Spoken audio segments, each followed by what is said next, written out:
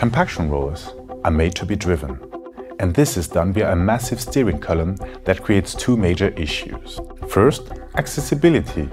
When climbing, the driver must maneuver between the steering column and the handrails while searching invisible steps. This sequence, carried out dozens of times per day, makes the access unsafe and exhausting. Second, the driving position. One hand is actuating the steering wheel, the other is managing the control lever while the operator is focusing on the side of the drum. This compromised driving position causes a postural fatigue and physical disorders. By removing the steering column and integrating the driving into the right-hand user interface, Mecalac has completely changed the way to work. The access is now easier and safer than ever.